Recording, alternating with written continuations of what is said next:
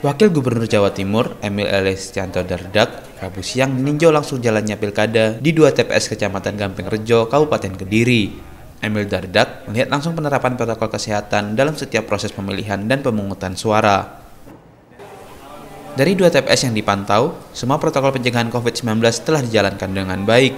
Tidak hanya itu, tingkat partisipasi warga dalam pilkada Kabupaten Kediri juga telah mencapai lebih dari 60 persen. Kondisi tersebut membuktikan bahwa warga masih antusias untuk menyalurkan hak suaranya meski di masa pandemi corona. Warga juga dinilai peduli terhadap calon pemimpin daerahnya, terutama Kabupaten Kediri yang hanya diikuti oleh satu calon bupati dan wakil bupati. Menurut Wakil Gubernur Jawa Timur tersebut, untuk meningkatkan partisipasi di daerah yang hanya diikuti oleh satu calon terbilang sulit.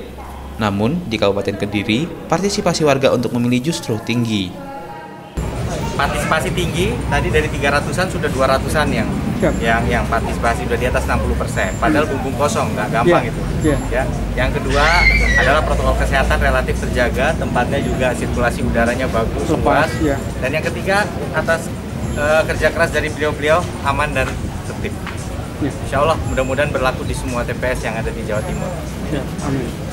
Dengan penerapan protokol kesehatan yang ketat, Emil berharap jalannya pilkada di masa pandemi corona ini dapat berjalan dan berakhir dengan lancar serta aman. Winanto Soekarja, Kompas TV Kediri, Jawa Timur.